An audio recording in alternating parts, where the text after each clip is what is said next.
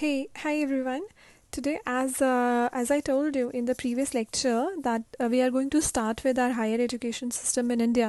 and uh, we have our second lecture of the day, that is ancient education in Vedic period. So जैसा मैंने आपको पहले बताया था, actually education system in India वो कैसे start हुआ था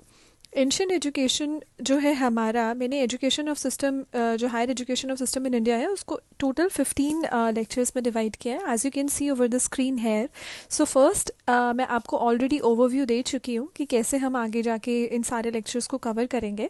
तो today we had on our second lecture that is ancient India that is on Vedic education see if I show you the present structure that I have here so this is the structure through which I am going to like you know teach you about the higher education system in India so मैंने education system को तीन parts में divide किया है ancient India decline of ancient India and then British India जिसमें post and आपका pre independence आ जाएगा।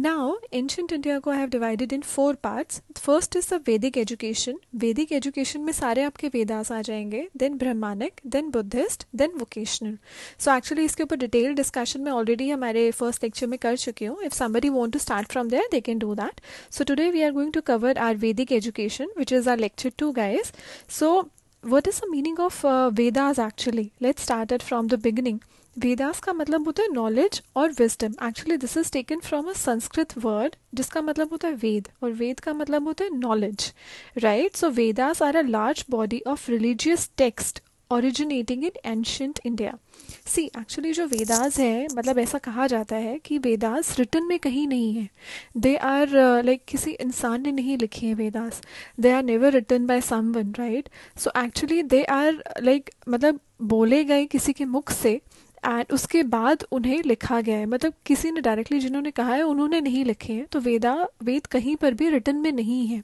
Right right? वो तो आगे जैसे टाइम के साथ साथ बात होती गई होती गई एंड जो जो उस चीज़ को समझते गए वो उसको लिखते गए और जितना वो कैप्चर कर सकते थे they did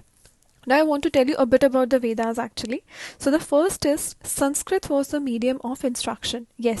जो Vedas है वो हमारे संस्कृत में लिखे हुए हैं। Second, Hindu consider the Vedas to be aporysae, which means not of a man, superhuman and impersonal authorities, uh, authorless, sorry, impersonal authorness. As I told you कि we believe it कि this is not written by someone मतलब किसी ने अपने हाथों से वेदास को नहीं लिखा है we never know कि किसने लिखा है like we generally believe कि they are words of God actually जो जो भी वेद में लिखा है वो बिल्कुल सत्य है now the third is they are also called Shruti क्यों हमेशा श्रुति या श्रुति कहते हैं? Because this is heard as I told you कि ये लिखे हुए नहीं है. दे आर हर्ड किसी ने सुने थे एंड देन उसके बाद उसको लिखा गया. And that is the reason this is distinguished from other religious text and which are called Smriti मतलब जैसे कि मैं आपसे कुछ बोलूँ. Right right? अगर मैं आपको बोलती हूँ कि वेदास ऐसे ऐसे ऐसे है बट मैं आपको लिख के ना दूँ तो आपको जितना याद रह जाएगा, आप उतना लिखेंगे राइट right? तो जो आपने मुझसे सुना that is known as Shruti या श्रुति और उसके बाद आप, जो आपको याद रह गया, वो आप लिखेंगे तो that is known as Smriti मतलब आपको जितना आपके दिमाग में आपको याद रहा, आपने लिखा that is known as Smriti now the next is in the Hindu epic Mahabharata the creation of Vedas is credited to Brahma ऐसा कहा जाता है कि जो वेद है, वो ब्रह्मा जी के मुख से निकले हैं right this is as per the mahabharata now the second is uh, another point is sorry according to tra- uh, tradition vyasa is the compiler of the vedas it is said that कि ब्रह्मा के मुख से तो निकले हैं लेकिन लिखे किन्होंने हैं व्यासा ने लिखे हैं and this is arranged the four kind of mantras into four samhitas ये हम आगे I'll explain you don't go don't go into that much uh, you know ये words थोड़े से tough हैं are completely like into Hindi and Sanskrit so it's okay take some time uh, just see it again and again you'll get to know now we have uh, types of Vedas actually. So, guys, uh, for like you know, for the simplicity, for the sake of simplicity, I tried my best to distribute the Vedas into four parts. Uh, so, four types of Vedas at present are Rig Ved, Samved, Yajurved, and Atharved. ये चार तरह के वेद हैं जिसमें कहा जाता है कि ऋग्वेद सबसे पुराना है उसके बाद सम यजुर और अथर्वाय थे तो अगर मैं बात करूँ ऋग्वेद के अंदर ये टोटल फाइव और ऐसी मतलब पॉइंट्स हैं जो कि एडेड है. This is further divided into it okay this is for like you know easy करने के लिए मतलब कई बार नहीं तो आप अलग अलग बुक्स में देखेंगे कि यू नो उपानिषद अलग दे रखा है उपासना अलग दे रखा है. So this is with the help of Wikipedia and two three books की रेफरेंसेस के through I just made this diagram it will really going to help you a lot right so let's discuss our first Veda which is Rig Veda Rigved is generally the earliest work of all the Indo-European languages and humanity that comprises plain living and high thinking. So generally इसमें क्या है हमारे जितने भी संस्कृत के versus हैं this is written here and इसमें कहा जाता है कि you should have a plain living and high thinking मतलब सादा जीना और ऊंचा सोचना this is a part of Rigveda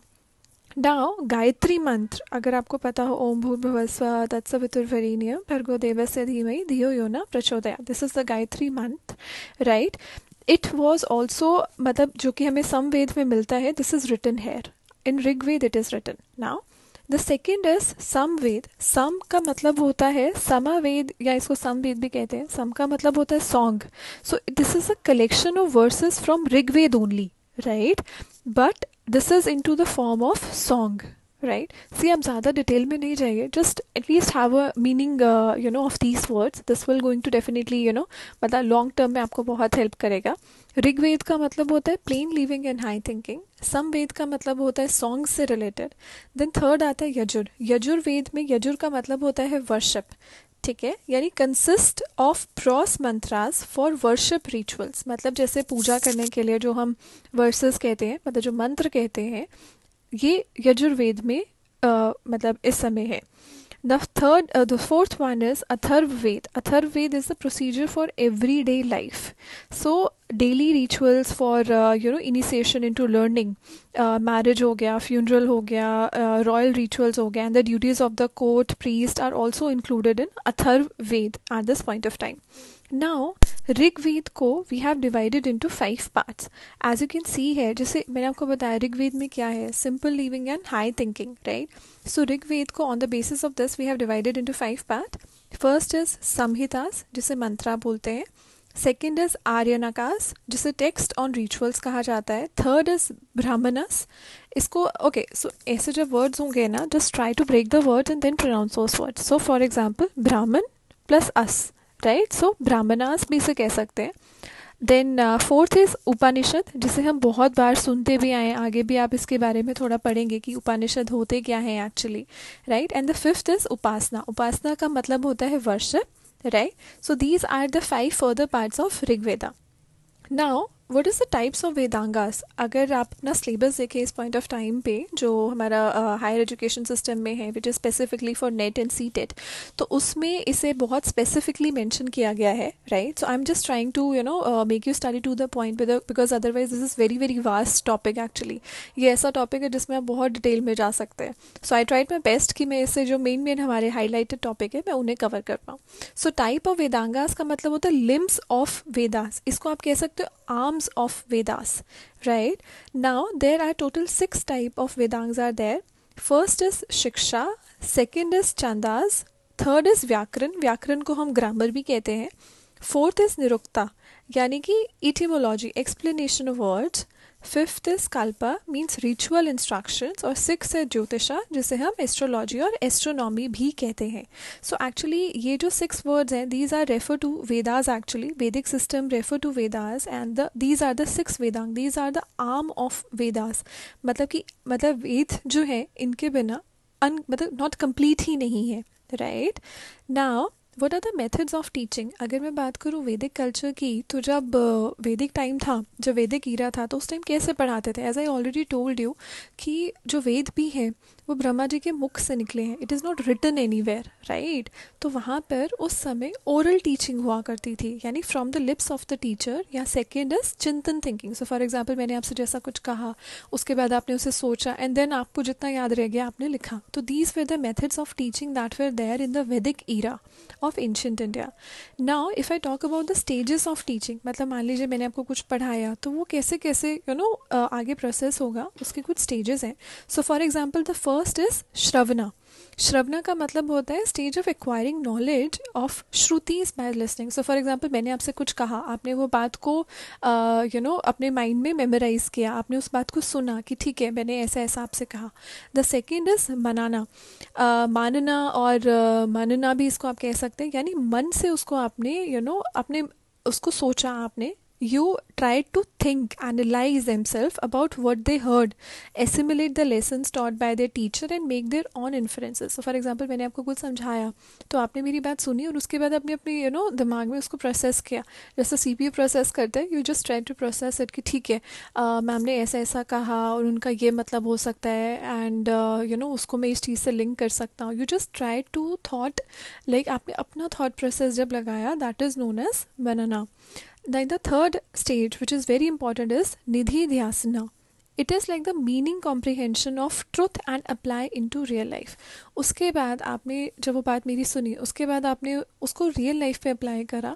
that is the method of teaching that was there in the Vedic era मतलब उस टाइम रिटर्न कुछ नहीं होता था, सब कुछ ओरल होता था। आप वो बात सुनते थे, उसके बाद अपने माइंड में उसे प्रोसेस करते थे एंड देन उसको आप अपनी रियल लाइफ में इम्प्लाई करते थे। That is the reason we don't have Vedas written anywhere right मतलब वेदास किसने बोले, ये तो हमें पता है, लेकिन मतलब किसने लिखे यू नो कैसे एग्जिस्टेंस में आए, इसके बारे में कोई मतलब इस समय प्रूफ नहीं है at this point of time now the features of typical ancient education system अगर मैं आपको बताऊँ कि वैदिक जो इरा था, उसके क्या क्या टिपिकल फीचर्स थे so I have I try to cover some with the respective for education system so first is admission criteria उस टाइम एडमिशन भी होते थे। कैसे होते थे? मॉरल फिटनेस रिलायबल और डिपेंडेबल के बेसिस पे। मतलब उस टाइम ये नहीं देखते थे कि ठीक है, आप आपको कितना ज्ञान है, कितना ज्ञान नहीं है दे जस्ट सी कि आपका मॉरल फिटनेस कितना है, आप उस चीज़ को समझने के लिए सक्षम है कि नहीं, तत्पर है कि नहीं है आप कुछ सीखने के लिए। Second is discipline of Brahmacharya was compulsory मतलब you need to be like you know आपके माइंड में बस एक ही फोकस होना चाहिए मतलब दुनियादारी से related that need not to be there in your head third is for higher knowledge Brahma Sangh was there मतलब हायर नॉलेज के लिए अगर मान लीजिए जैसे अब क्या होता है फ़र्स्ट टू ट्वेल्थ हमने पढ़ लिया सीनियर सेकेंडरी तक कर लिया, उसके बाद we go for higher education right right so for example जैसे हमने प्रीवियस स्लाइड्स में कवर करा है B com B B A B H M B A tech और M B A these are the higher education today at present in the system but if I talk about the ancient era in the Vedic period Brahma Sangh was the higher education system educational system was residential exactly उस time पर मतलब आपको घर में ही पढ़ाया जाता था। Now student has to live in the house of is teacher so for example teachers के घर में ही स्टूडेंट आते थे और वहीं पर वो ज्ञान प्राप्त करते थे। Education was free most of the time उस वक्त जो एजुकेशन था दैट वॉज़ कम्प्लीटली फ्री मतलब उस टाइम कुछ ऐसा चार्ज नहीं किया जाता था. It was generally free at that point of time then the other one is ultimate aim of education was Chittavritti मतलब कंट्रोल ऑफ़ मेंटल एक्टिविटी मतलब एजुकेशन उस टाइम इस पर्पज से नहीं ली जाती थी कि ठीक है, मुझे ऐसा बनना है, मुझे वैसा बनना है. The main aim was the mental activities को कंट्रोल करना, अपने आप को काबू करना right the last is doctrine of action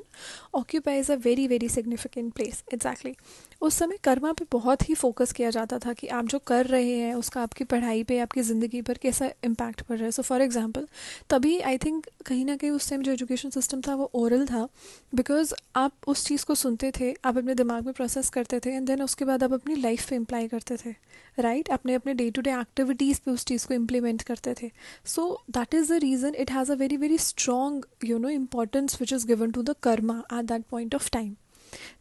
i just try to like you know cover uh, the procedure actually. So for example एक बच्चा है अगर uh, मतलब उसे पढ़ाई करनी है तो वट इज़ द प्रोसीजर आजकल के टाइम में क्या होता है? पहले प्राइमरी एजुकेशन ली जाती है मतलब पहले वो नर्सरी में जाएगा एल के जी यू के जी में जाता है फिर first second third fourth fifth this is the procedure which is like which we all know. But if i talk about the vedic era right जब एंशंट uh, इंडिया में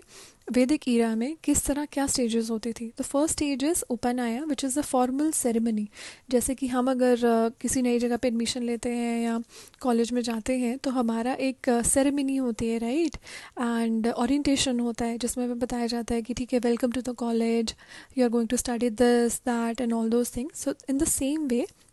पहले भी एक फॉर्मल सेरेमनी हुआ करती थी। सेकेंड स्टेज इज़ द्विजया twice born ये उस टाइम ट्वाइस बॉर्न ये उस टाइम कंसिडर किया जाता था कि आज आपका नया जन्म हो रहा है। Actually because you are going in the new home of guru teacher right तो this is your second birth इसीलिए उसे कहा जाता था द्विजया। नाउ उसके बाद होती थी आपकी विद्या आरंभ। At the age of five कहा जाता था कि आपकी जो एजुकेशन है it's going to start then eight to twelve years को ब्रह्मचारण कहा जाता था।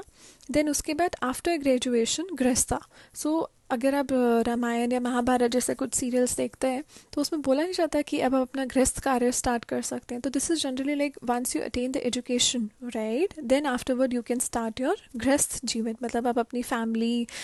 ये सब चीज़ें जो है, वो स्टार्ट कर सकते हैं। उस time human soul was the material world actually मतलब उनका ये मानना था कि it's all about like the learning about the you know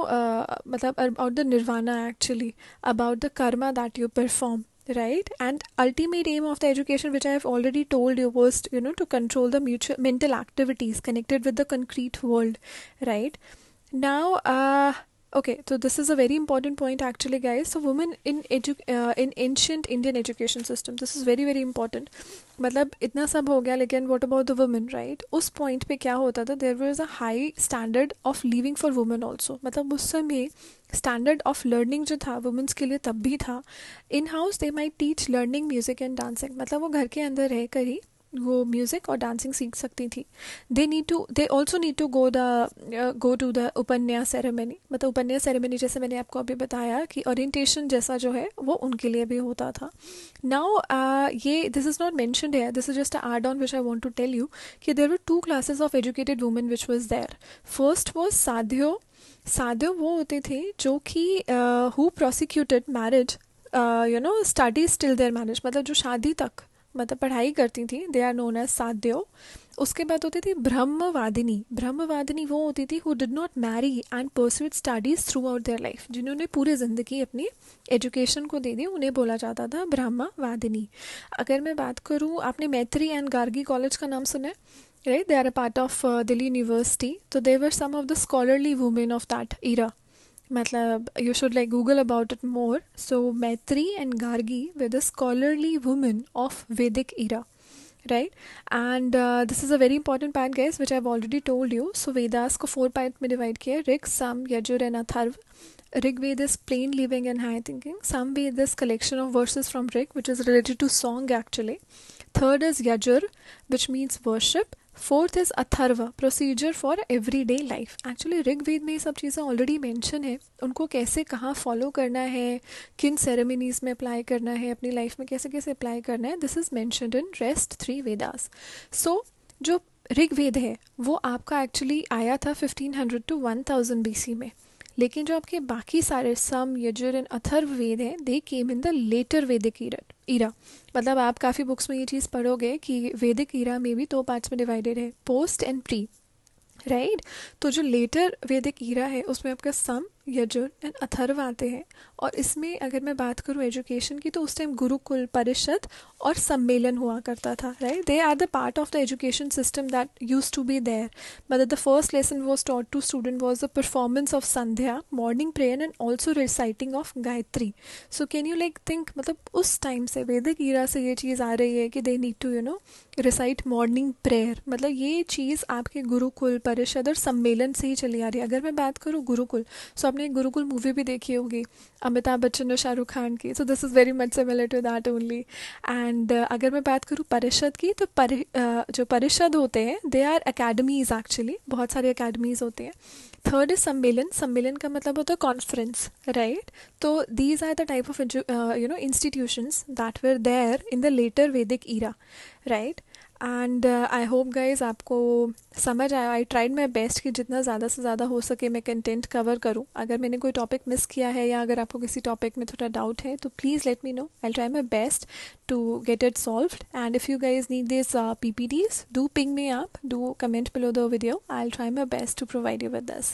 right thank you so much for your time all the best perform well in your